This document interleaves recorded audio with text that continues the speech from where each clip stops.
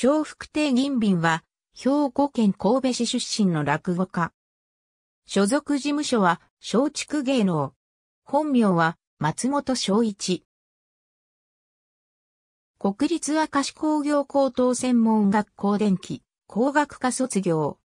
血液型は B 型。出囃子は拳。愛称は銀ちゃん。尼崎市在住。20歳まで神戸で生まれ育つ。1988年3月、小福亭鶴瓶にタレント志望で入門。5月25日に正式に名前、銀瓶を名乗る。師匠同様のマルチな才能で、落語家としてだけでなく、タレントとしても活躍。所属の松竹芸能が主催する舞台では、主役のジョン・レノン役を務めた。もともとタレント志望で、兄弟子の小福亭昌平が入門して、すぐにテレビに出て活躍しているのに憧れて入門。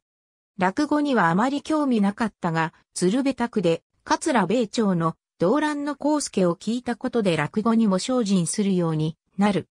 また、在日韓国人3世で1996年に日本国籍を取得。日本の学校に通ったため朝鮮語は全くできなかったが、見た映画をきっかけに独学で朝鮮語を習得。2005年から朝鮮語による落語に取り組んでいる。帰化前の本名は、陳正一。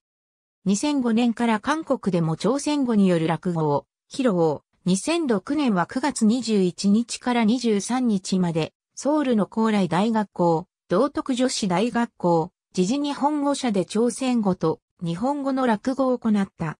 プロ野球では、読売ジャイアンツファンであり、巨人ファンを集めたイベントも開催している。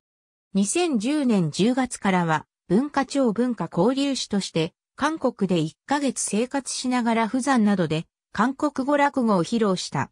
ありがとうございます。